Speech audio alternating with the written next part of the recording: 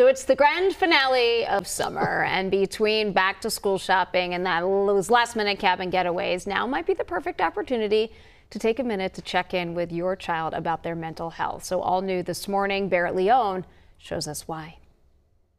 The statistics are unsettling. We've seen a lot more anxiety, a lot more social anxiety, a significant increase in school refusal, and that's been a really hard thing. According to the latest Youth Risk Behavior Survey from the Centers for Disease Control and Prevention, 40% of teenagers say they constantly feel sad or hopeless. That's a lot of our teenage population.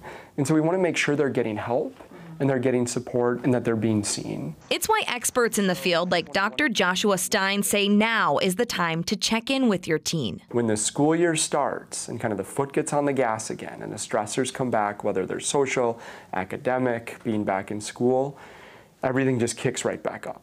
It's a sentiment NAMI Minnesota Executive Director Sue Abderholden echoes. If you don't talk about it right, then you're not getting the help that you need. She urges parents to look for changes in their teens, shifts in sleep patterns, appetite, or lack of interest in things that typically excite them. I'd love to see that number come way, way down. The survey does show a slight improvement from a few years ago, but it's still roughly 10 percentage points higher than a decade ago. 40%, that is a huge percentage of kids who are just not feeling great about the world, right, and are depressed. Abderholden credits that progress to conversation, but she doesn't want it to stop there. It shouldn't be a secret, right? We should be able to talk about it openly so that kids are really aware of what to do. Beret Leone, WCCO News.